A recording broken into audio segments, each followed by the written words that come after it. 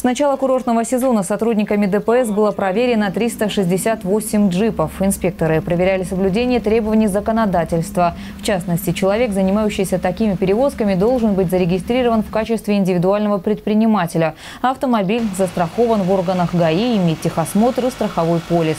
Ходе рейдов сотрудники ГИБДД выявили такие нарушения, как неисправность рулевой системы, неиспользование ремней безопасности, переоборудование транспортного средства. Составлено 260 65 административных материалов, 32 автомобиля поставлены на штраф-стоянку, 77 водителям выданы предписания внести изменения конструкции кузова в техпаспорт.